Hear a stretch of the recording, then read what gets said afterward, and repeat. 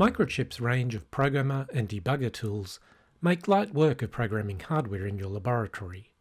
But what about when you are away, needing to program hardware in the field? You probably have no inclination to lug heavy lab equipment with you, nor might there be any readily available source of power. With the latest MPLAB X IDE and IPE release, and the PICkit 4's Programmer to Go feature, it is possible to load a program image into the debugger, then program that image as often as required, without a host machine and without any additional power supply. To program on the go, you'll need a micro SDHC memory card, formatted with the FAT32 file system. Flip over your PICkit 4. You'll see the graphic indicating the card slot and insertion orientation. You can program the PICkit 4 from the Download button in the MPLAB X IDE, but it is easier to use the IPE application for this task.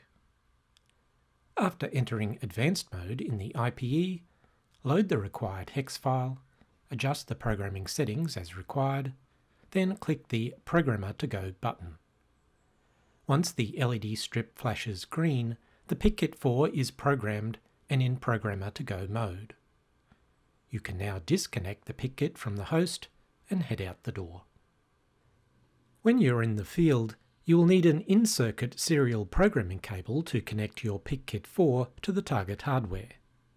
No additional connections are required as long as your hardware can provide 350 mA to the debugger. Otherwise, the debugger will need to be powered from a USB source. Once connected, wait for the flashing green light and then press the programming button located underneath the logo. When the light flashes green once more, programming is complete and you can disconnect the target. Just be aware that in Programmer to Go mode, the PICkit 4 does not check the target device ID, so this must be confirmed manually. No debugging facilities are available in this mode, and you should check the PICkit 4 User's Guide to ensure that the target hardware meets the electrical requirements necessary for reliable programming. If at any time you need to reset the PICkit 4, press and hold the button until you see the light flashing yellow. The PICkit 4's great debugging features are now complemented by full support for the Programmer to Go functionality in the MPLAB X IDE and IPE tools. Requiring nothing more than a cable, the PICkit 4 is the programmer for people on the go.